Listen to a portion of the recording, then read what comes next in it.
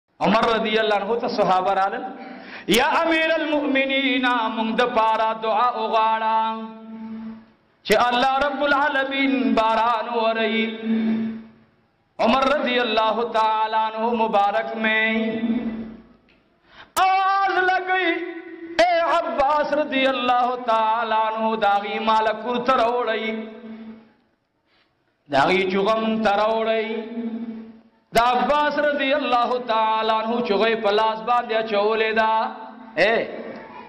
عمر سے بار ولاړ دے دعا غواړي یا الہ العالمین یا الله دا چغه ته چا په غاړه باندې وا خدای داغي په وسیله باندې د رحمت باران وروا عمر رضی الله تعالی عنہ دعا غواړي خو چې کله خپل ځای ته ران نوزی نیم چوغتی نباران لم دکڑلا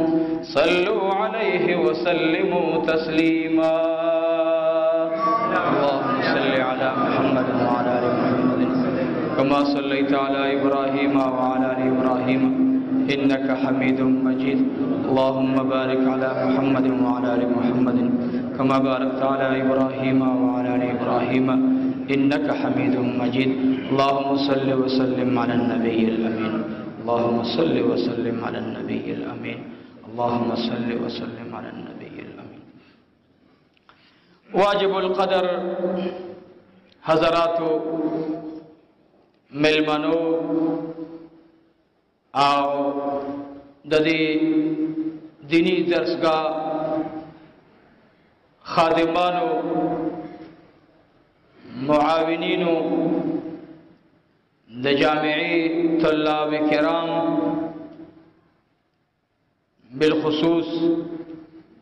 هغه مشران سپنګری ځوانان چې هغه د دې جامعې د ترقۍ او د دې جامعې د کامیابی په سوچ او فکر کې د محبت په دې کشته کې مونږ سره تکلیفونه برداشت کړي الله جل جلاله دې د دې ټولو دوستانو په ژوند کې اولاد کې علم کې تقوا کې زمونږ او د تاسو سره خیر او برکت نازل کړي امين مونږ به ان شاء الله یو نیمه بجه فکس کودري نو کوم ملګری حضرات چې هغوی دا عام طور سره د جمعې ورځې زمون اکثر منځ لسکم دو ترسي نن به ان شاء الله د جمعې منځ فکس ان شاء الله یو نیمه بجه باندې به منځ درېږي نو ټول ملګری چې هغوی خبر وي محترمو د سردار کونین جناب رسول الله صلی الله علیه وسلم ارشاد مبارک دی چې دنیا زندگی او داسې زندگی ده دا لکه یو مسافر چې په لاره روان وي، نو مخې ته اوږده لاره راځي او دی پرې روان وي او لاره شاته پاتې کېږي او دی خپل منزل مقصود ته پرې ورسېږي، نو دا ټوله لاره چې دی پرې څومره مزل کړی، دا ټوله دنه شاته پاتې شي. هو کدا سړی ډیر مزل وکي او بیا منزل مقصود ته نه رسیږي نو دا سړی بس کړي په دې خپل سفر باندې بستو معنی نو عزیزانو کچیرتا د مؤمن سفرم داسې به مقصود وي دنیا کې نو وړوکی پیدا شي او بیا ځوان شي او بیا سپینګیری شي او خو اس پیدا به ور باندې مرتب نه او بیا په آخر کې د خپل ژوند پس لاس مروړي چې خدایا ځواني می څه شو راکړې مال دی الله زما څه شو بچی می الله تعالی کړو هغه مان څنګه بے ضیا دا وی تربیت شو نو بیا الله ستا سرازینا نو بیا ارمان کوي نبی کریم صلی الله علیه وسلم فرمای مؤمن بنده به د هغه ورځ ارمان کوي کوم ورځ چې دینه د ذکر نه غفلت کې پاتې شي ذکر د الله رب العالمین عظیم نعمت دی او په هر حال کې د الله ذکر کول پکار دي عزیزانو کو یو سړی او یره ز کبوډا شوم سپینګیره شوم اوس مې ځواني ده تربیت د روح اول نه پکار دی کله چې د چا تربیت د روح صحیح وشي هغه نه سپیشلیست ډاکټر جوړیږي دا اولياء الله چې څومره په دې خانقاو کې ناست دي دا د خلقو د زړونو هغه کټ شوی تارونه چې د الله سره کټ دي دا اولیاء لګي هغه ته غوټي ور کوي دا په واسطه کوي ور سره کوم زړه چې غفلت کې پروتي هغه دا اولیاء لګي د دې تارونه سره تړي چا ته وای ته چې سار را پاسېږي او منځو کې نو دا کلمه وایا سبحان الله وبحمده سبحان الله العظیم چا ته وای ته چې کلم مازیګر منځنه فارغ شنو سل زل استغفار وایا چا ته وای یا حی یا قیوم وظیفه کوا چا ته وای په دې سترګو باندې لاس ګدا او دا وظیفه کو ولا حول ولا قوت الا بالله العلی العظیم چاته وای زړه سره د خلی او د دماغ لار یو کا نو بیا خلم بند کا شونډم بند کا زړه بد لګي د الله جل جلاله ذکر بکئی دا مراتب دي دي اولیاء دا اولیاء الله د خدای پاک په دې سمکه باندې د دې بندګانو تعلق د الله سره جوړي د دې داسې مثال دی لکه په تاسو یو دکان د دوايي تلاش نو هغه کې یو طالب مفتان نوجوان ناس دي نو ته ورته چې دا پرچا والا نو دوايي ډېر پرتی هغه یو تلاش کې راوالي دي سره برابرې نو کې دي برابر نه هغه کې دي بل راوالي بیا هغه برابرنۍ بله راولي خو تر څو چې ډاکټر کومې دوايانې لیکلي او مکه دوايانې هغه دوایي دکان والا برابرې کی او به بیمار ته ورکی او ورته بیا وای دا ګولۍ به درې ځلې استعماله ورځ کې دا به دوه ځلې استعماله بعض ګولۍ داسې وي چې بچیا یا رورا اے بابا جی دا به هفته کې یو ګولۍ استعماله نو عزیزانو بیا په دقه بنا باندې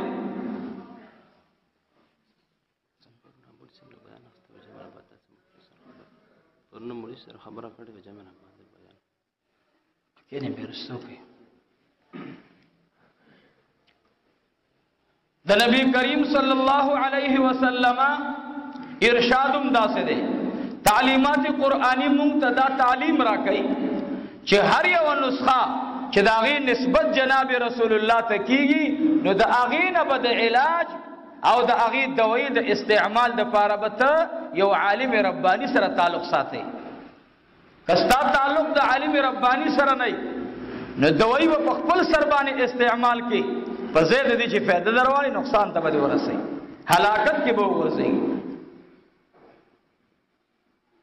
د قرنګ الله جل جلاله د صحابه کرامو تربیت د نبی علی السلام په کې و فرمایلو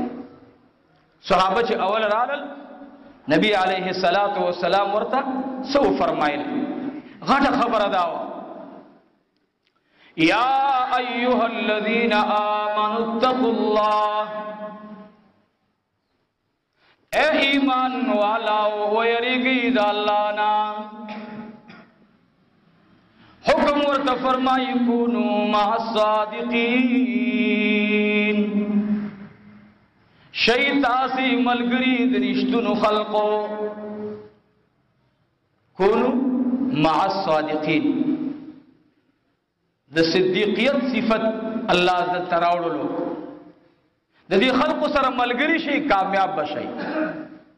کله دې خلکو د جماعت نه خلاف شي ناکام بشي د پیغمبر صحابه راول کېدل د دې جماعت تخصیص مونږ ته وکړو چې دا جماعت به تاسو په دنیا کې څنګه پیژنئ نو د نبی علیه الصلاۃ والسلام نسخه را تراوړله چې پیغمبر علیه الصلاۃ والسلام فرمایي چې دغه نسخه ده دا دوی با داسې استعمال وي سرنګا د مانزه ټیم دی اعلان وشو چې د ماسپخین مانزه لرا شي دلته اوس ترازی او ودا سے خبره ده چې منځونه خو بیا به د مازیګر مانځله یا به مړ یم یا به ژوندی یم راشه د ماسپخین کوم دا د مازیګر به مر سره وکم نو د ماسپخین مونځ او شو خو د مازیګر مونځ نه دی شوی ځکه دا د عرفه ورځ خو نه ده چې د عرفات میدان کې جمع بین الصلاتین کې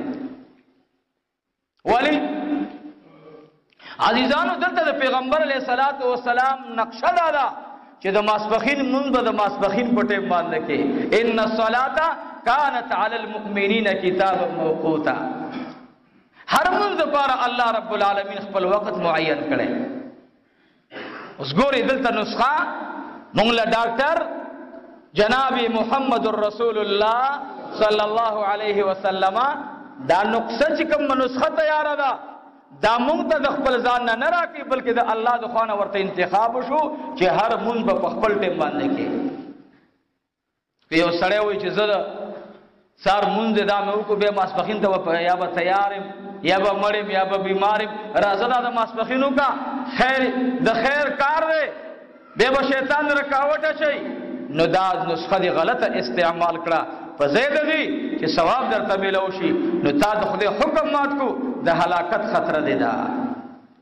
دغه رنګه الله حکم کړی چې تاسو به روزه نیسئ په کال کې یو میش فرض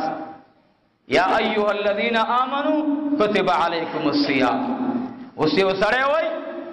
یره داسې چل چې د رمضان روزه دا میش کې به یو ځل نیسم خو راځه دا د پشکال میشتا او د دې میشت په ځای باندې به په پوما کې دوه میشت پر لپسې ونیسم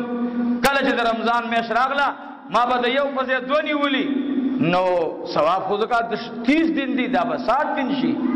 الله وی نه نه نه دلته بیا نقشه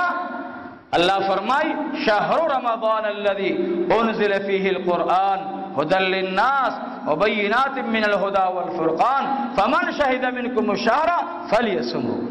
خدای پاک تعین د رمضان د میاشتې وکړو اوس که یو سړی د دو یوې میاشتې په ځای باندې شپږ میاشتې روژه نیسي خو د رمضان روژه هغه نه نیسي نو د دې دا شپږ واړه میاشتې روژه نفلي روژې شوې خو د فرضي روژې نه دي د فرض یوې روژې ثواب ته د شپږو میاشتو نفلي روژې ثواب نه رسېږي ولی د الله رب العالمین حکم داسې دی ډاکټر موږ له حکم کړی چې روژه به نیسي خو په خپل ټیم باندې نه پلي نیسه که یا لکه زکات دی ما سره یو کروڑ روپۍ دي یو کروڑ روپۍ کې دوه نیم لکه روپۍ زکات دی خو حساب ورته نه لګوم حساب ورته نه لګوم زم زمړه ډېر ورکوم لګي نه ورکوم خو تا له دا پته لګي نه چې ما سره دوه نیم کروړه یا دوه کروړه یا یو کروړ روپۍ دي او په یو کروړ کې دوه نیم لکه روپۍ دا به زه زکات نه ورکوم تا ته ښه پته لګي چې زما پیسې هغه د دوه کروړ نه بری دي خو ته ورته حساب نه لګې په دې وجه حساب نه لګې چې اسه نه خدا نه خستا که زه ورته حساب ولګم تاوانی نشم او بیا لګې چې زه ورکوم بس چې څوک راځي چاته زر ورکوم چاته سل ورکوم د زکات تعین پکې نه کوم خو ورکوم علما ناس دي که یو کروڑ پس یو کروڑ ورکې خو چې د زکات تعین نه کې او د زکات تعین درته تاوان ښکاری نو بیا دې د الله په حکم باندې عمل برابر نه دی ها حضرت شیخ رحمت الله علیه فرمایل یو سړي سره ډېرې پیسې دي زکات ورکړي معین زکات خو تینه وویستلو یره ما سره 2 کروڑ روپۍ دي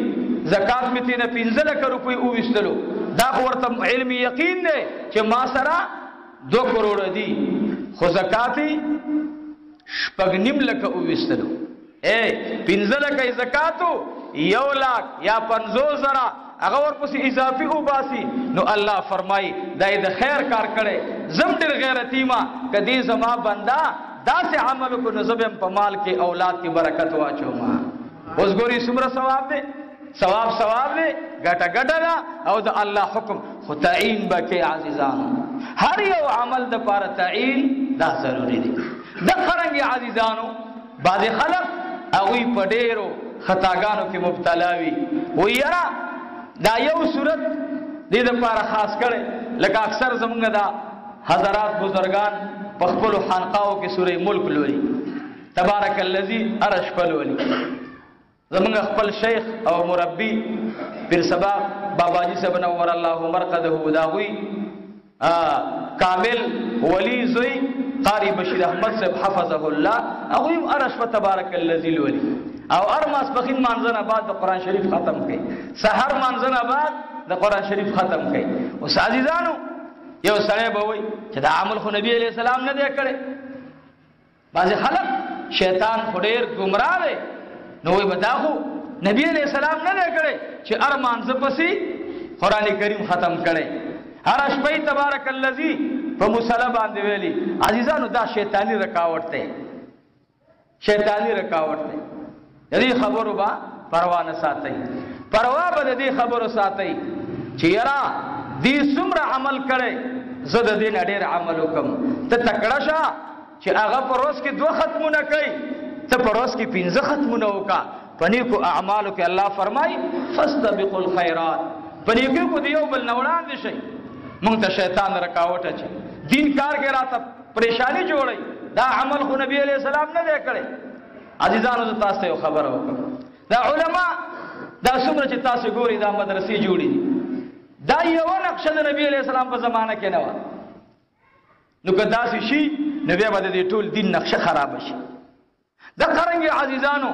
د نبی علیه الصلاۃ والسلام په زمانہ کې په دغه ترتیب سره درس نظامی نو د صحابه دور کې نو تابعینو ته ورکې نه و، د هغې نه بعد بیا الله رب العالمین علماو ته ذهن کې دا نقشه واچوله چې اوس دا علم دا نقشه خرابېږي نو په دقې ترتیب باندې د علم درس نظامی د پاره علماو نقشه جوړ کړه او دا نقشه تقریبا د هندستان علماو دی بزرګانو جوړ کړ موږ تاسو چې ورته علماي دیوبند یو پاک خلق دی نیکان خلق دی دغه رنګ د دې دیوبن علماو مونږ ته یو بل نقشم جوړ کړی ده محترم درخواست درته کوم زمونږ د ژوند او د مرګ پته لګی نه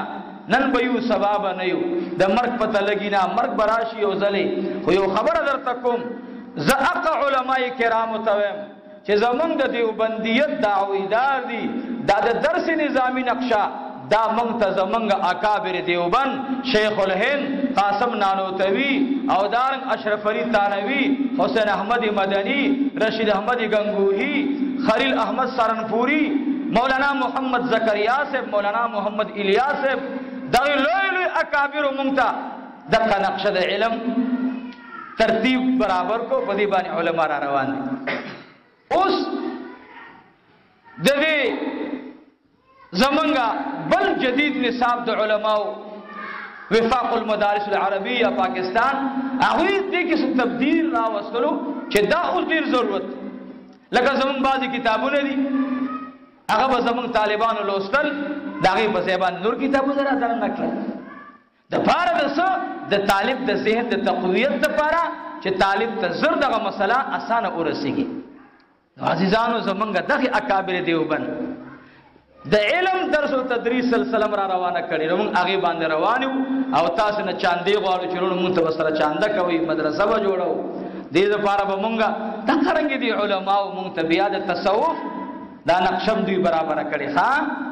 مولانا محمد زکریا سے بسلور طریقې چلولې مولانا الیاس رحمت الله علیه بسلور طریقې چلولې سلور طریقو کې بالخصوص مولانا الیاس په قادریه شریفه کې د نور پشان د زلان دستور قادریه شریفه به هغه داسې چلوله لکه اوس وخت کې بعضې علما نقشبندیه ډېره وړاندې بوځي مولانا الیاس رحمت الله علیه بالی د تبلیغ جماعت والا هغه مبارک با قادریه شریفه بوتلله او یو عالم خبره کوله وې د مولانا الیاس رحمت الله علیه شاګرد خاص وې دا خبره ما ته کړې و چې مولانا الیاس رحمت الله علیه هر پیر شپه باندې مریدان را جمع کول او د قادری شریف ختم به کولو او دا غینه بعد به 40 منټ یا 45 منټ د ذکر نفي اثبات ذکر کولو او د چشتي مبارک سبقونو کې با خپل په حلقې د ذکر کې شریک شو نو زمونږ علما دیوبند هغه مونږ ته د تصوف دا طریقه مخودلې ده کله ځان نه جوړو نو به مشکل جوړو دغه رنګ زمونږه اوس وخت کې امام المبلغین امام المحدثین مولانا محمد زکریا صاحب نور الله برقدو هغه مبارک په سلور طریقې چلولې بل خصوص نقشبندیه مبارک کې داسې وو د میدان پهلوانو الله ډېر لوی شان ور کړو په حزب البحر کې ورته الله داسې شان ور کړو قسم په خدای او چې مولانا زکریا صاحب په مدینه منوره کې حزب البحر شریف شروع کو حیران بیا کړل خلق دا زمون صاحب مبارک د پیر سبا دا د هغه په حزب البحر کې هغه مرید او دا غوینه اجازه غسته و محترم اوس وخت کې دا د عقیدی په بنا باندې خبره مې درته وکړه چې څوک د دیوبندیت دعوه کوي هغه به ان شاء الله عالم وي هغه به مبلغ وي هغه به صوفي وي هغه به مجاهد وي هغه به مدرس وي هغه به مصنف وي هغه به د الله مخلص بنده وي ان شاء الله عزیزانو دا خلق ډېر لوی خلق تیر شي زمونږ شیخ الهند رحمت الله علیه د جهاد په میدان کې چې کومه قرباني ورکړي قسم دی که مثال یې شته شاه اسماعیل شهید رحمت الله علیه چې کومه قرباني ورکړې والله العظیم که مثال یې سو قایم اے عطا الله شاه بخاری رحمت الله علیه یو ځل خبره کوله یو ځل خبره کوله وای دا میګه نه دی میګه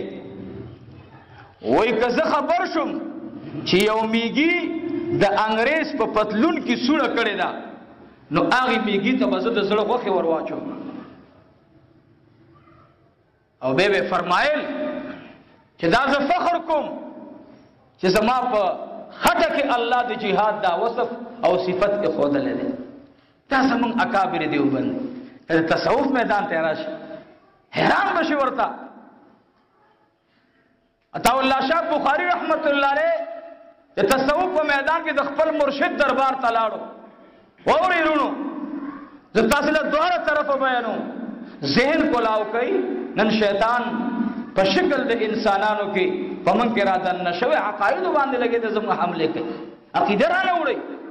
عقیده را نه اوچتای ادب را نه اوچتای ذکر کو ادب را کې نشته مولانا حسین احمد مدنی صاحب خبره یو کوم بل را دی یو مورید ذکر کولو ذکر کولو تصفو باندې الله الله الله بل ورځ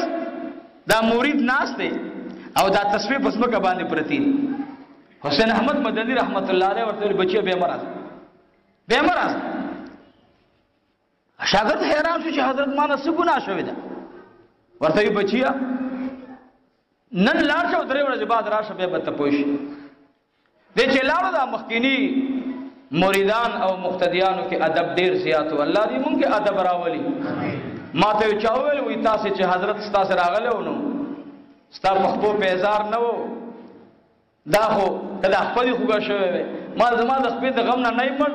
که زما د اخبر په بم ورغلې وي ته به خوشاله وي خو تعالی د اعتراض بل زیر دی ملاو نو دا اعتراض دی وکړو مالزه د حسین احمد مدني بچي ما حسین احمد مدني رحمت الله علیه خپل استاد را روانو حسین احمد مدني رحمت الله علیه د خپل کور نه ورته صادر وغړولو د صادر پسې صادر واچولو څادر پسې څادر واچولو، اخر دا چې کله استاد کور ته را رسېدو، خپله بړستنه یې ورته مخې ته واچوله، وایي په دې باندې قدمونه کېږده او دی ورسره په څنګ کې خپې بله خپې را روان و. مالتا له د اعتراض بل ځای میلاو نه شو، نو دا اعتراض دی وکړو،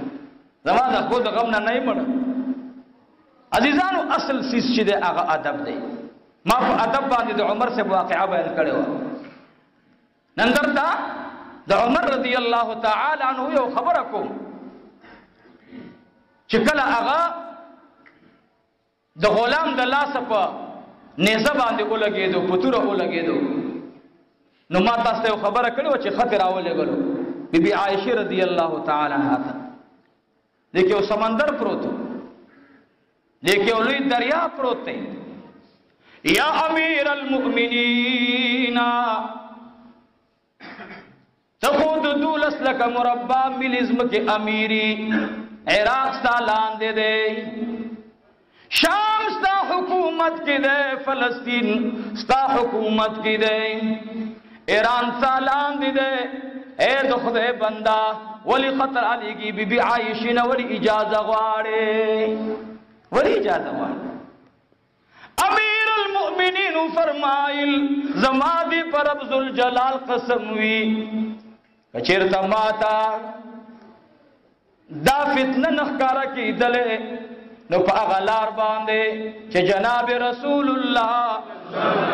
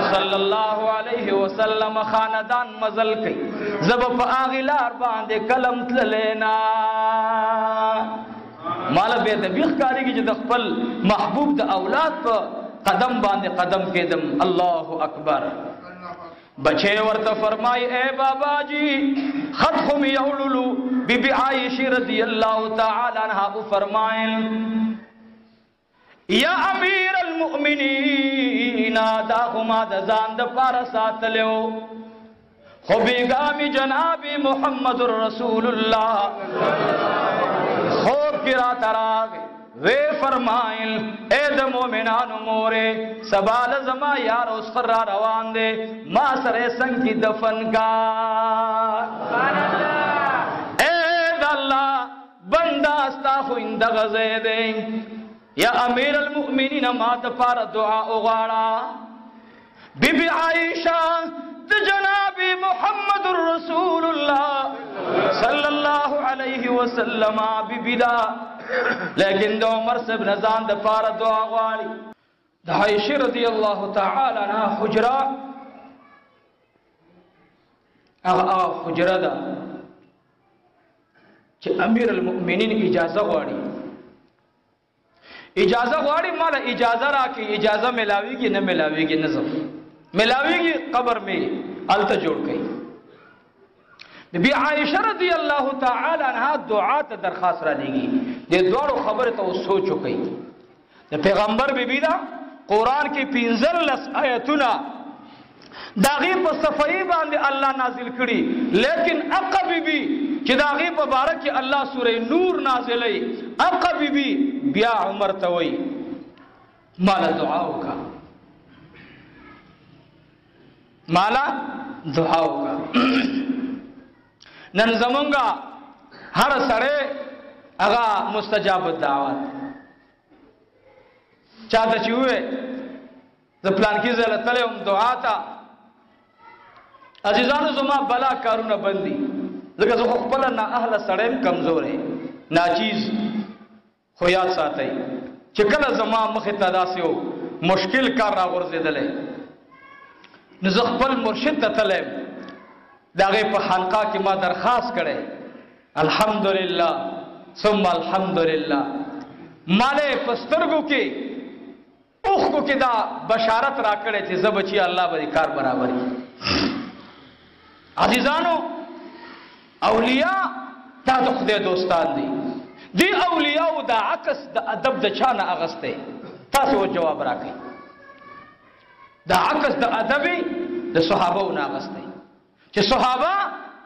دومره با ادب دي عمر صاحب ته خطر علیږي او ورته وی چې ماته دعا وغواړه عمر رضی الله تعالی عنہ مبارک په حالات د تکلیف کې زخم دی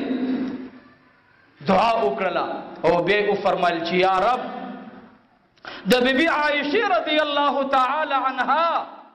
الله د هغه د هغه علمي کمالاتو د برکته او د هغه مجالسو د برکته چې د جناب رسول الله صلی الله علیه وسلم سره کړي دا غي د برکته الله د عمر بخنه او فرمایا الله اکبر من سره وسیله پکې چا راوسته وسیله عمر رضی الله تعالی عنہ عمر صاحب ته خلق رالل عمر صاحب باران نکیږي باران د پاره دعا وغواړه باران د پاره سو غواړه جواب راکړي ګوره رونو موږ او تاسو باران د پاره دعا غواړو لاندې کې باران د پاره دعا غواړو خو دعا مونږ قبليږي دا وجه څه ده؟ اچې زه ولاړم نو زما په زړه کې بل څه وي چې ته ولاړې ستا په زړه کې بل څه وي نو په ایمان یې وایي چې ته ولاړ د چا په مخې ته او ستا په لکه نور نور ارادې دي دعا به قبول شي عمر رضی الله تعالی عنہ په ایمان یې وایي داغه د او دس نستا او دس مضبوط یا جواب راکړي جواب راکوي او دس مضبوط دی جامه دې پاکه ده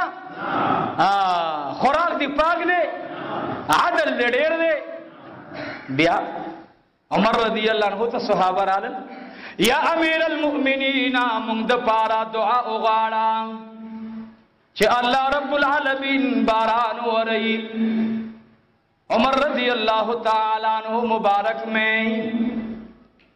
آواز لگئی اے عباس رضی اللہ تعالی عنہ داغی مال کور تروڑی داغی چغم تروڑی دا عباس رضی اللہ تعالی عنہ چغی پلاس باندیا چولے دا اے عمر سے بار ولاړ دے دعا غواړیا الہ العالمین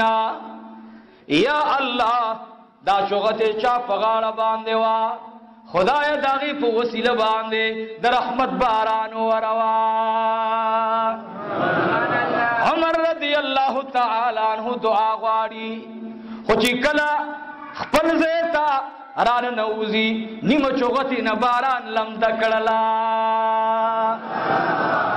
شیخ العرب والعجم مولانا محمد حسن جان المدنی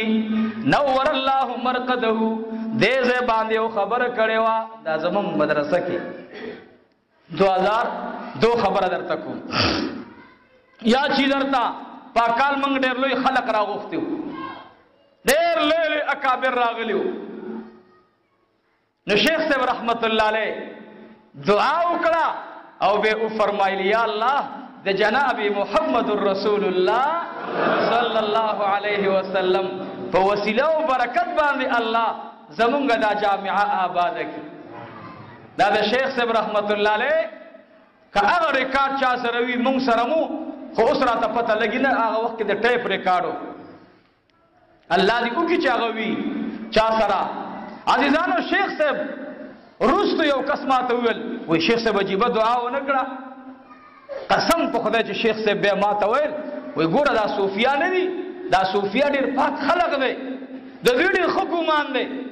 دوی کړه د لوی مرتبه خاوندانی خو ځان نه وړاندې کوي چې زه ډېر لوی سړی یم خدایا یا الله زه هیڅ نه یم خدایه د دې ولي په برکت د عمل زما دا مال او زما دا اولاد خدای با برکت وګرځي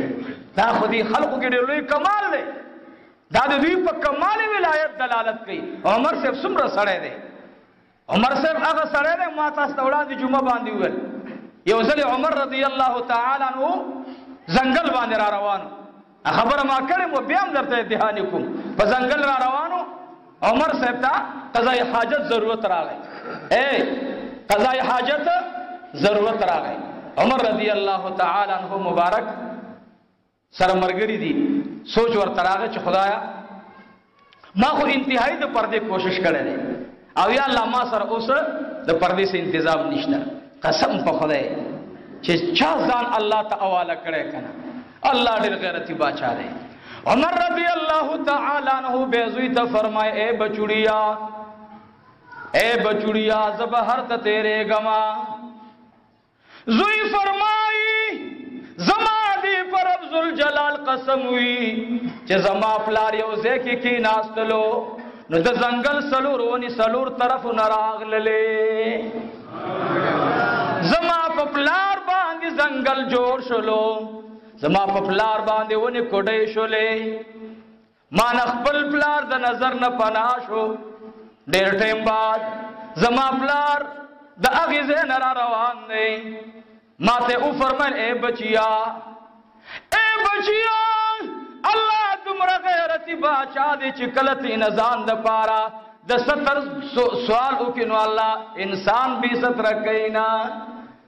الله انسان بیا بے ستره کوي نه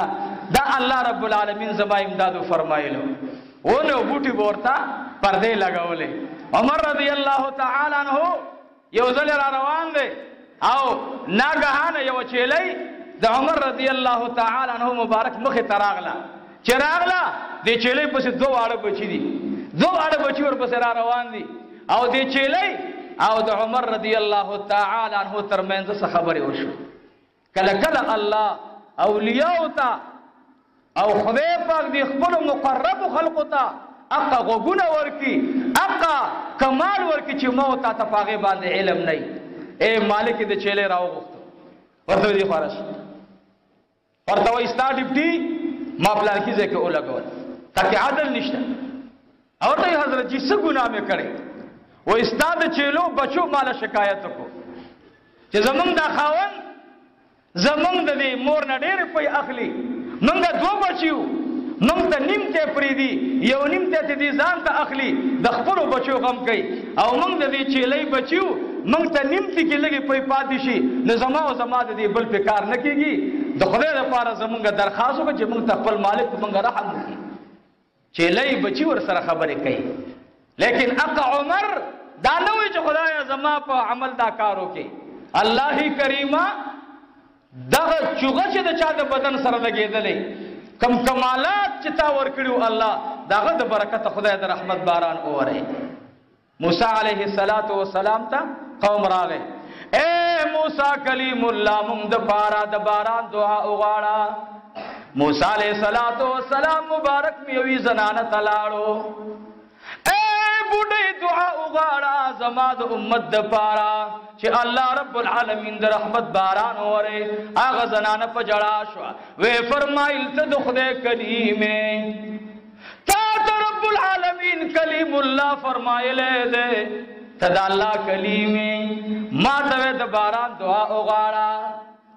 ته دعا وکړه الله رب العالمین به قبول کړي په ایمان وای د موسی علیه السلام دعا به د امتی دعا د نبی خو شان دی ورته وای اے ابي جاني دعا وغواړه ورته وای سوجلا چې ته په ما باندې دعا غواړې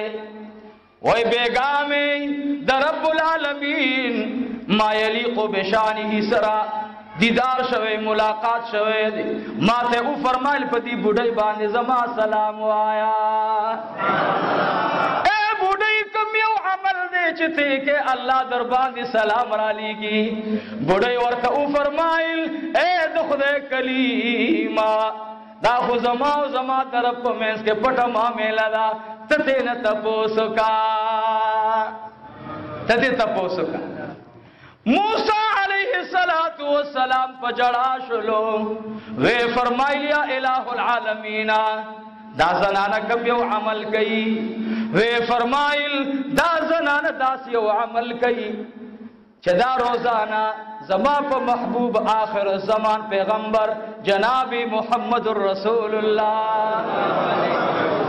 زر کرت درو شریف لولی دا زنانا زر کرتی درو شریف په جناب رسول الله لولی نو زما ور باندې سلام وایا اے موسی علیہ الصلوۃ والسلام وای په ورځ د قیامت باندې با زما په امت کې داسې ستوري را اوځلېږي د ستورو په شان دی هغه به زما په امت کې د اعلی مرتبه والا وي زما تاسو کوم یا الله دیو کوم داسې عمل کړي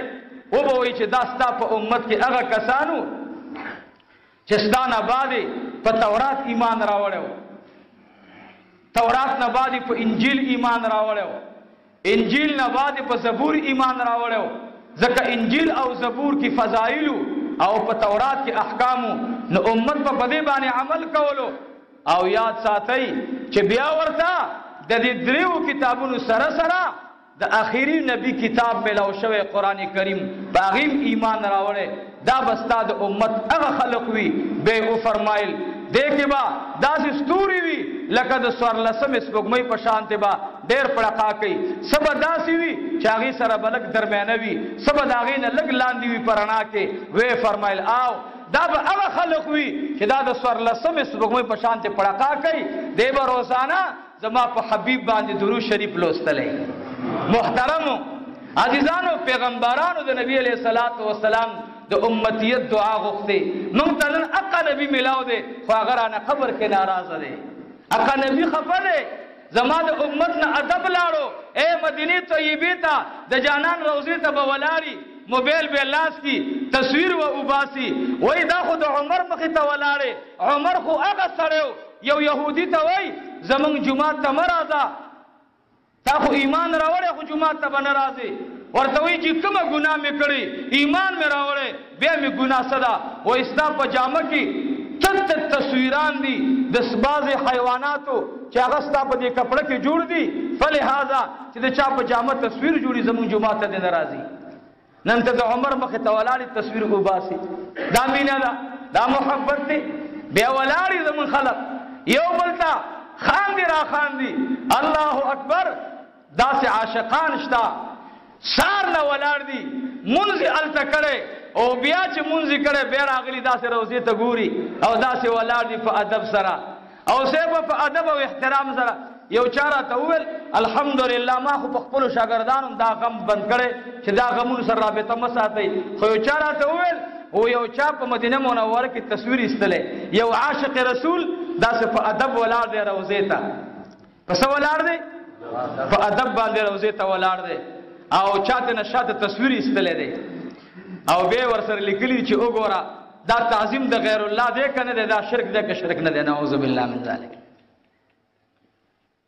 خو یو عاشق رسول ډیر ښه جواب ورکړي شته ګوره ښا ټول زم په شان دي خلق نشتا هغه ورته وی په جواب ولیکلو چې دې ته ګوري نو یو مسلمان حکمران حواله ورکړي دا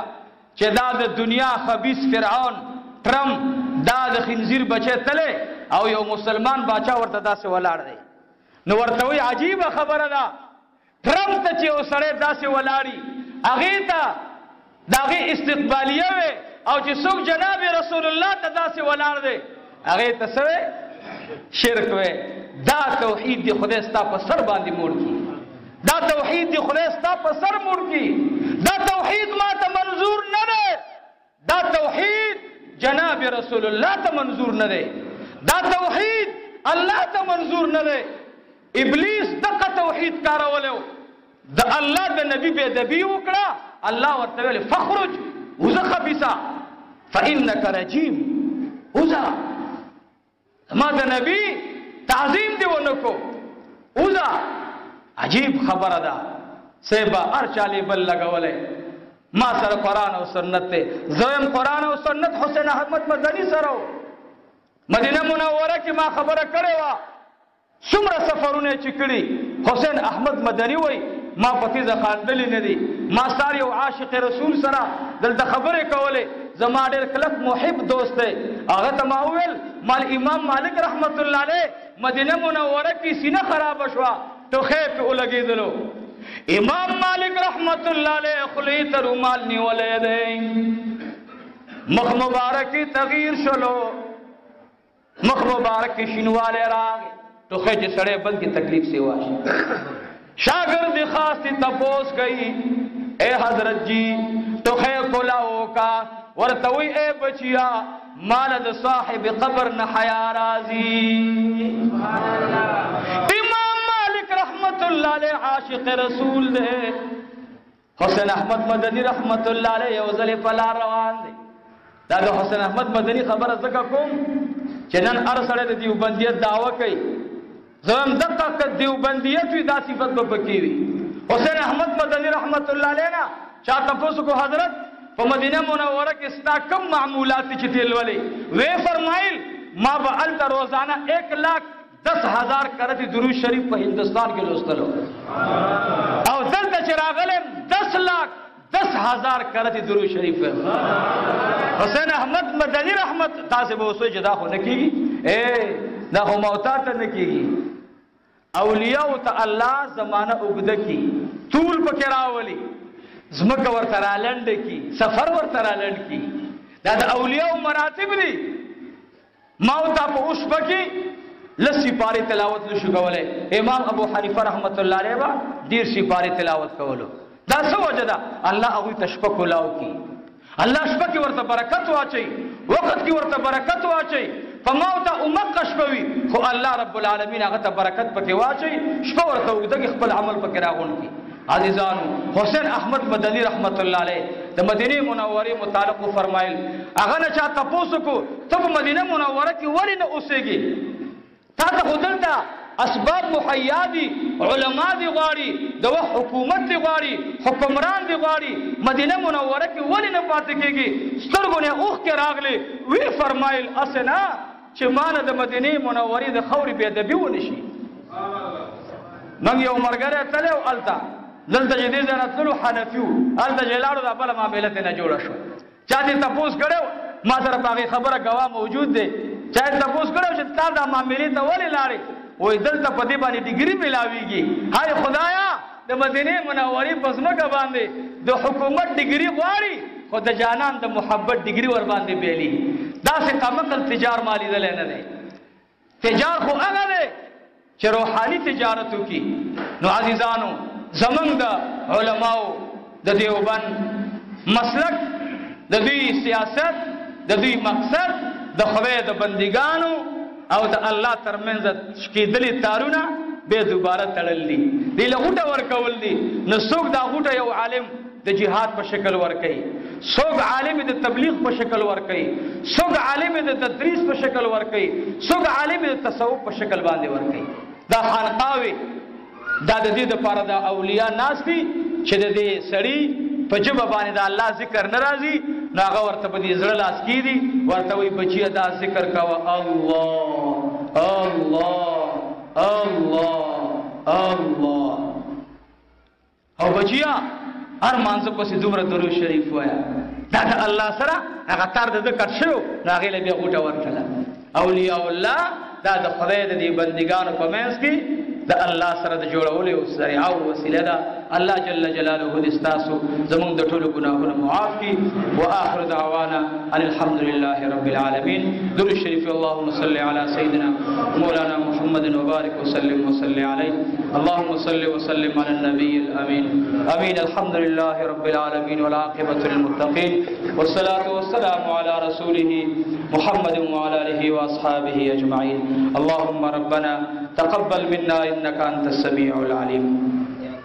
الله کریمه دا راغلي ملمانه الله چې څومره د جامعې ته راغلي د دې ګوان خلق مشران سپنګيري ځوانان الله د ټولو په ژوند کې عمر کې مال کې اولاد کې سره زمونږه خیر او برکت واچي الہ العالمین خدای دې ټول مرګرو داراتل الله قبول او منظور فرمایي الہ العالمین زمونږ دا جامعه الله دا ستاسو محبوب مدرسه ده ستاسو محبوب جامعه ده ټول وای مسجد رحمتا للعالمین الله اکبر صلی الله علیه وسلم ورنو الله دې زمونږ استاد په ژوند باندې د محبوب جمعات آباد کی الله دې آباد کی الله دې آباد کی الله دې آباد کی مونږ تاسو نه دې الله د آبادۍ او د تعمیر کار واغستلی زمونږ د بچو نه دی الله واغستلی زمونږ د اراکینو مقتدیانو معاونینو خادمانو نه دی الله واغستلی خدایه ته ګواه اوسه دې قوم ما سره ډېر لوی احسانات کړي خدای زه دې قوم خوشاله کړی ما پرون دارالعلوم مصباح الاسلام مټه مغول خیل کې د خپل استاد خانقاه او مدرسه کې تاسو له دعا کړې د قوم مزدر ډېر خوشاله الله دې تاسو نه خوشاله شي الله دې تاسو نه خوشاله شي زه ولا وارث او مسافرم او تاسو ما ته لاس راکو زه مو چاته ونه درولم چاته محتاج نکړم او داسې یو د محبت غیږ مو راته راکړه د پلار نه مو زه ته مینه راکړه د مور نه مو زه ته مینه راکړه د رور نه مو زه ته مینه راکړه الله دې ستاسو د امین او محبت قبول او منظور فرمای رب العالمین دې د جهاد سمرا مجاهدین چې په مرکزونو کې د يهودو نصاراو خلاف جنگي الله دې د ټولو مجاهدینو حفاظت فرمایي د تحریرو خلاف مجاهدین جنگیږي الله دې حفاظت فرمایي رب العالمین دې ستاسو او زمونږه په ژوند باندې د دې خسته ملک نظام قران او سنت وګرځي الله کریم دې اسلامی بلا چې څومره دي الله دې پکې د عمر رضی الله تعالی عنہ په شان عادلان حاکمان مسلط کی رب العالمین دې زموږ او تاسو ټول پریشانی ختم کی او چا چې د جامعې سره تعاون کړي مسجد سره ان شاء الله که وخت او زمانہ وا او ټیمو ان شاء الله تاسو فریاد با او ما غزه کې کو ان شاء الله د چا په مینه کې چې تاسو قربانې نه ورکړې دي رب العالمین دې تاسو او زموږ د ټولو د دوړو جهان خوشحالي نصیب وګرځي تاسو ته الله او موږ ته دی الله د دوه جهانو د خوشحالي فیصله و فرمایي امت کې دی الله اتفاق او اتحاد راولي ټول اراکین د جامعې دی الله د زماني اولیاء الله وګرځي د دې مدرسې سره محبت ساتون کې او مینا او تعاون کوون کې الله دې په خپل ژوند باندې خوشاله کړي بعضی مرګري هغه ډیر سره غواړي چې ډیر څه وکړي لیکن بیا ژوند دی انسان دی نو الله دې ټول ته حلال مال ور نصیب کړي او خدای مو د حرمین شریفینو د تلو اسباب مهیا کړي الله دې موږ او تاسو بار بار د جانان روزه ته ودرېدل نصیب وګرځي الله مو دې بار بار د بیت الله شریف توافر نصیب وګرځي رب العالمین دې تاسو ته او موږ ته د دوه جهان خوشحالي نصیب کړي الله کریمه دا راغلي ملمانه چې څومره دي الله په خپل ژوند باندې خوشاله کړي او زمونږ او د دې ټولو مشران چې وفات شوي الله قبرونه منور معطر وګرځي د چا کاروبار نه الله کاروبار د حلال نصیب کړي الله د چا وي ته پکې برکتونه واچي الله د چا څه قسمه پریشانی وي ته پریشانی ختم کړي زمونږ او د دې ټولو په آخر وخت کې دا کلمه نصیب کړي لا اله الا الله محمد